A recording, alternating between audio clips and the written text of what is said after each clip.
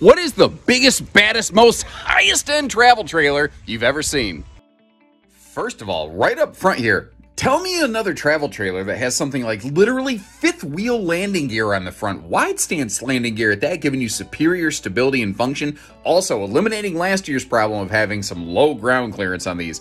Now, Eagles are an exceptional travel trailer. A full Big Bird Eagle like this has a 7 foot 3 ceiling clearance that allows them to put full fifth wheel slides in, which allows them to put a full fifth wheel kitchen in, including that 22 cubic foot residential fridge. And Jayco uses an 1800 watt inverter that will actually power not just the fridge, but multiple outlets. Now, I didn't get a good look at it, but that is a massive shower right there. And now you have a standard king, you have 30,000 BTU dual whisper ducted air, and side-by-side washer dryer prep for full timers.